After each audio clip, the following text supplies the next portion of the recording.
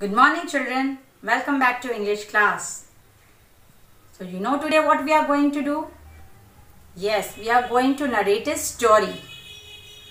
Our first chapter that is The Sparrows Get a New Home. So all of you live in a home, right?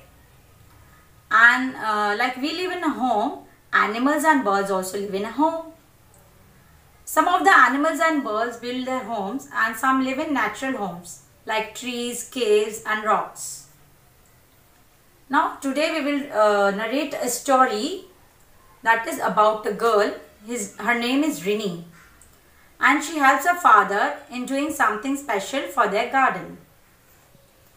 So one Friday night, Rini and her father were preparing a list to do something for their garden. They were planning something.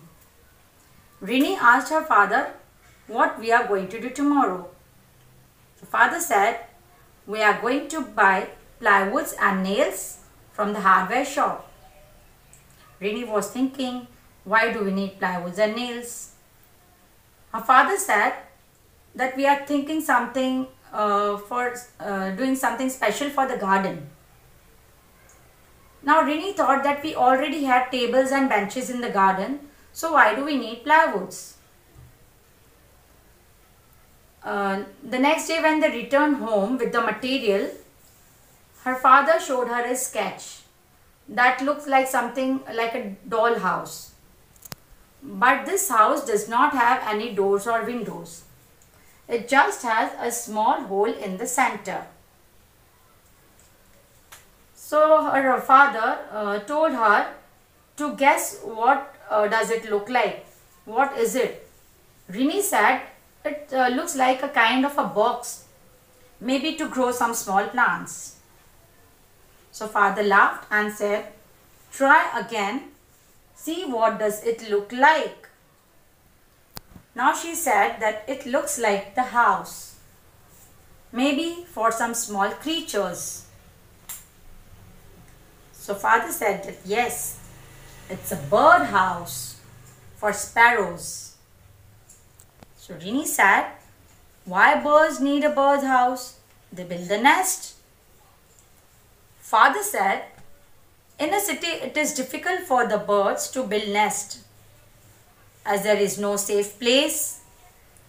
The old houses are replaced by the high buildings. There are very small gardens with very few trees. So it's very difficult for them to build nest. So they are going to build a bird house.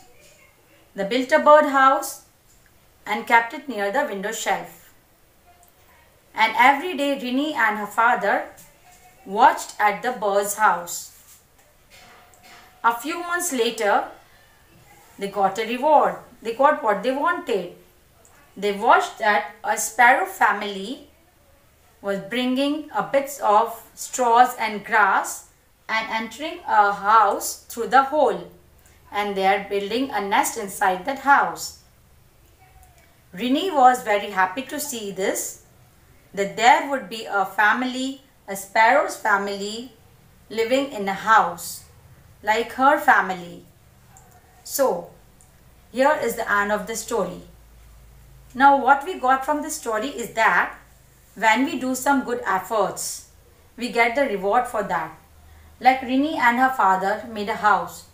So they saw that the sparrows uh, are building a nest and living in the house.